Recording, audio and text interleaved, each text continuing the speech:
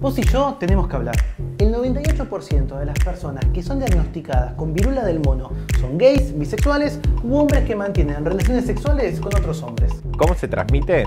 Entrando en contacto con lesiones de una persona que tenga viruela. Esto puede pasar cuando chapás, te frotás o coges. ¿Cómo saber si tenés viruela del mono? Mírate bien. Las lesiones a veces no son muy visibles. Suelen estar en la zona de la boca, del ano y de los genitales. Si te encontrás alguna lesión, consulta con el sistema de salud y evita el contacto físico con otras personas. Recién cuando se caen todas las costras y puedes ver piel sana y nueva, dejas de transmitirlo. La viruela del mono es muy contagiosa.